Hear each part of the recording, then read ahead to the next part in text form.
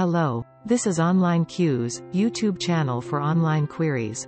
In this video, I will show you how to stop bots from joining Telegram group.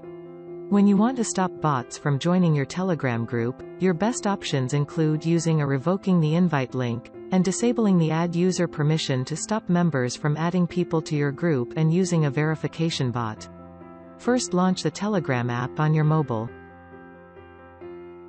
Tap on your Telegram group.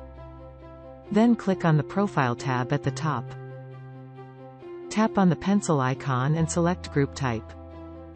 Select the Manage Invite Links option and tap the three dots next to your group invite link. Hit the Revoke Link option.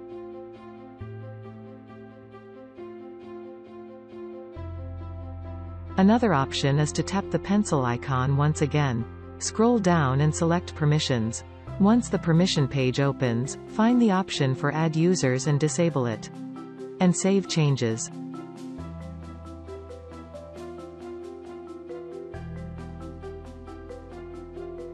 Finally what you can do is search for CAPTCHA app bot and set up the bot on your Telegram group.